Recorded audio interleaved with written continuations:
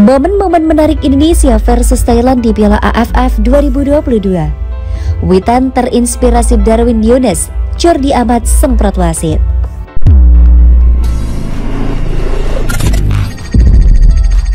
Pertandingan ini merupakan pertandingan yang penting.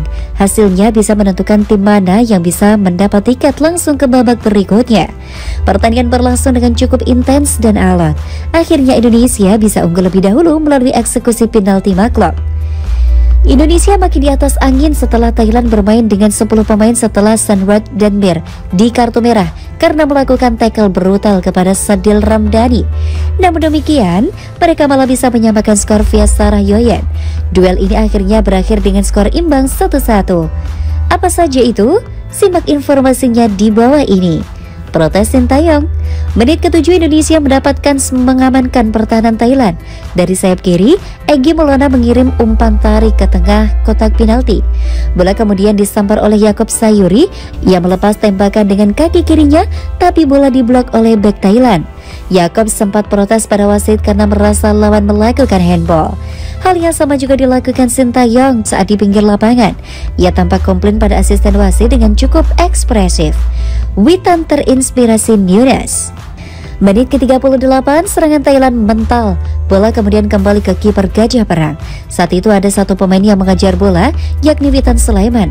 Ia akhirnya sukses memotong bola saat akan dioper kiper Thailand ke rekannya. Saat itu gawang sudah kosong melompong, namun bola tendangan Witan Sulaiman meleset tipis ke samping kanan tiang gawang Thailand. Sukar dipercaya. Ini mengingatkan kita akan kegagalan Hansa Muyama saat gagal mencetak gol di laga lawan Brunei Darussalam. Selain itu, kegagalan tersebut juga mirip dengan yang dialami striker Liverpool Darwin Nunes yang dalam dua laga terakhir lawan Manchester City dan Aston Villa kerap buang-buang peluang. Jordi Amat semprot wasit.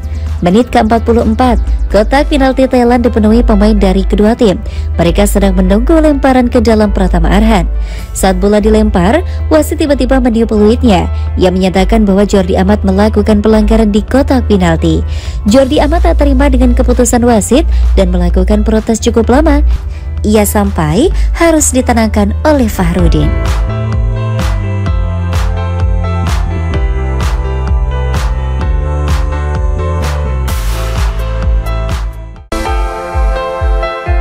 Prediksi susunan pemain timnas Indonesia versus Thailand. Empat pemain Garuda diwaspadai pelatih Gajah Perang.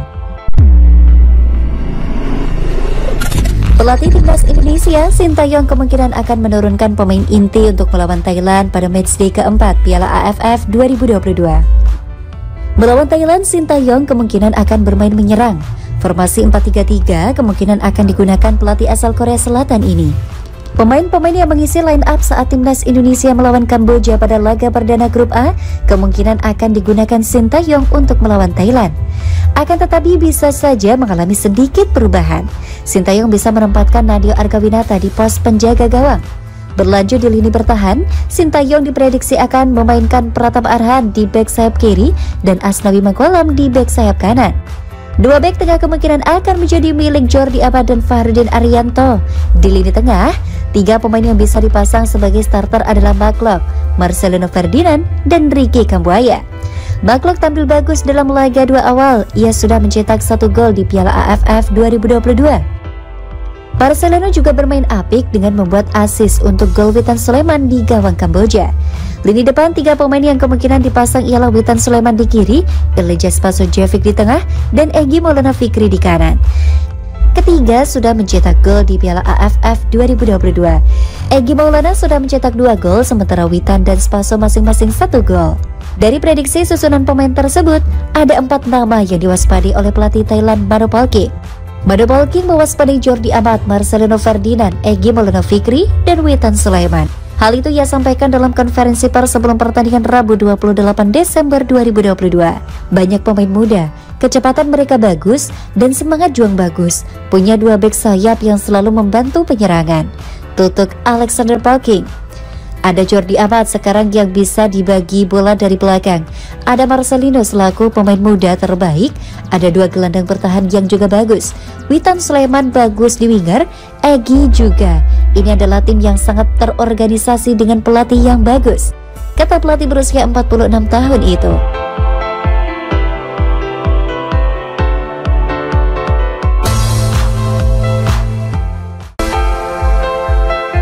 Timnas Indonesia sudah dua kali menang. Jordi amat yakin bisa kalahkan Thailand.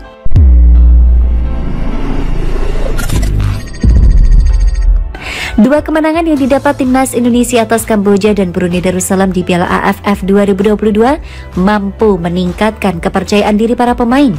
Salah satunya adalah pemain naturalisasi Jordi Amat yang semakin yakin timnya bisa mengalahkan Thailand.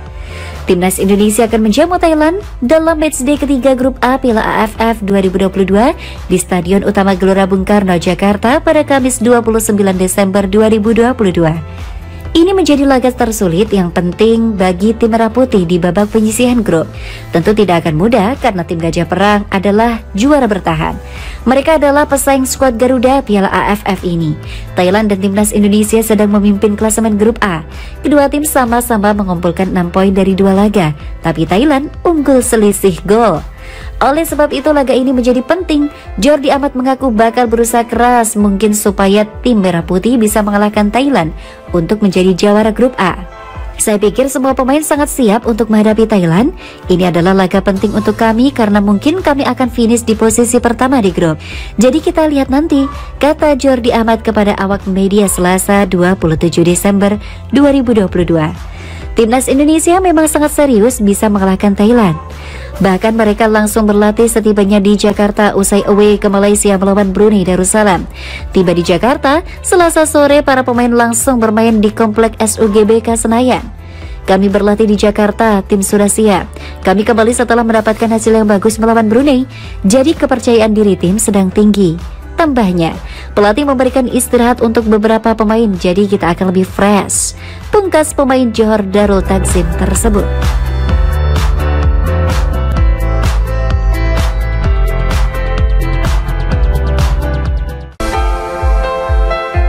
Rotasi Sintayong terbukti jitu.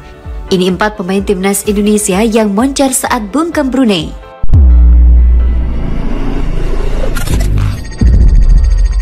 Eksperimen pelatih Sintayong pada susunan pemain timnas Indonesia saat melawan Brunei Darussalam Senin 26 Desember 2022 berbuah manis. Pada laga grup A Piala AFF 2022 yang berlangsung di Stadion Kuala Lumpur, Malaysia, timnas Indonesia sukses meraih kemenangan telak 7-0 atas Brunei. Di laga kali ini, Sintayong total melakukan 8 rotasi untuk susunan 11 pemain pertama timnas Indonesia. Hanya Nadio Argawinata, Asnawi Mangkolab, dan Egi Maulana Fikri sebagai pemain yang kembali jadi starter usai laga melawan Kamboja. Rotasi ini terbukti manjur, meski awalnya cukup kesulitan, skuad Garuda sukses menyerangkan 7 gol yang semuanya dicetak oleh 7 pemain berbeda. Lantas, siapa saja pemain timnas Indonesia yang tampil gemilang di laga melawan Brunei Darussalam? Berikut ulasannya.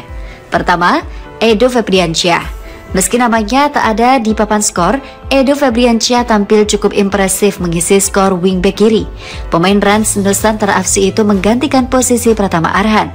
Edo cukup cepat dalam membantu serangan dengan mencatatkan dua asis yang masing-masing untuk gol Egi Maulana Fikri dan Yakob Sayuri. Kedua, Yakob Sayuri. Sintayong kembali memasukkan Yakob Sayuri di babak kedua untuk menggantikan Asnawi Mangkuala. Hal ini juga dilakukan olehnya di laga melawan Kamboja. Kepercayaan Sintayong yang kali ini dibayar tuntas oleh Yakob dengan torehan dua asis dan satu gol. Ketiga, Ilijas Pasujevic. Striker naturalisasi milik Bali United ini sempat mendapat kritikan tajam usai penampilannya mengecewakan di laga melawan Kamboja. Namun di laga melawan Brunei, Sintayong justru memasangnya sebagai starter. Keputusan ini terbukti manjur karena Spaso bisa memberikan bukti. Spaso memberi satu asis untuk gol pembuka timnas Indonesia yang dicetak oleh Syarian Abimanyu dan mencetak gol keempat di menit ke-60.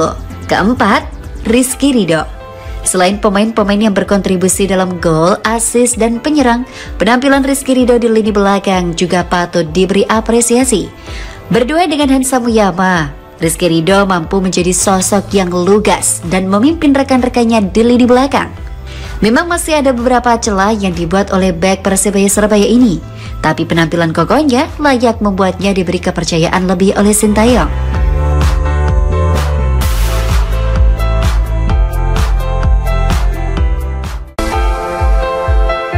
Akui kedalaman skuad timnas Indonesia sangat bagus, pelatih Brunei berkata, kami tak akan fokus ke satu pemain saja.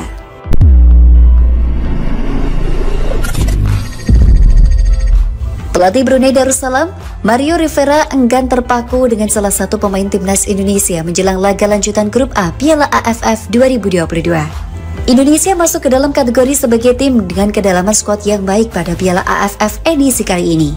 Sebagian besar pemain timnas Indonesia juga alumni dari Piala AFF edisi 2020. Sebut saja Nadia Argawinata, Ricky Kambuaya, Witan Sulaiman, Asnawi Mangkualam, Egi Maulana Fikri, dan Pratama Arhan adalah alumni timnas di edisi 2020. Saat itu, timnas Indonesia mampu meraih predikat sebagai runner-up turnamen oleh sebab itu, saat ini Timnas Indonesia juga masuk ke dalam daftar kandidat juara Piala AFF 2022.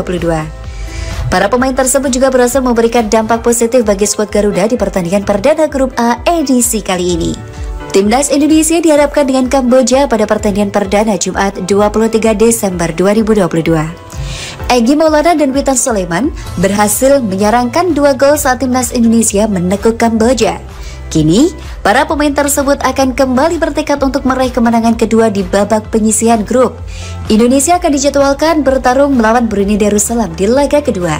Pertandingan tersebut akan berlangsung di Stadion Kuala Lumpur, Malaysia, Senin 26 Desember 2022, pukul 16 lebih 30 waktu Indonesia Barat. Menjelang pertandingan tersebut, Mario Rivera selaku pelatih kepala Brunei dimintai pendapat terkait kedalaman skuad timnas Indonesia.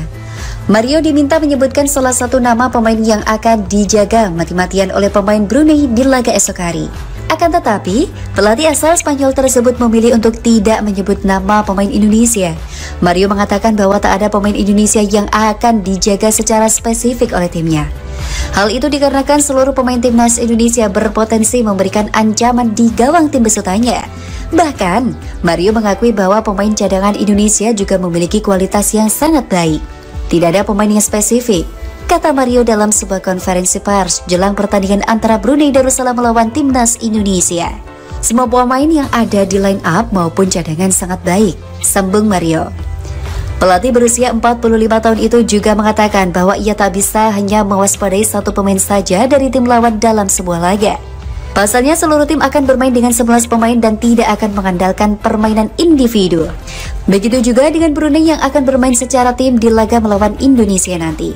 Kita tidak bisa hanya fokus pada satu pemain saja.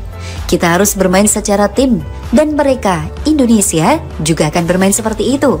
Jadi, tidak bisa hanya fokus pada satu pemain saja dan harus menjaganya semua pemain dengan baik. Pungkas Mario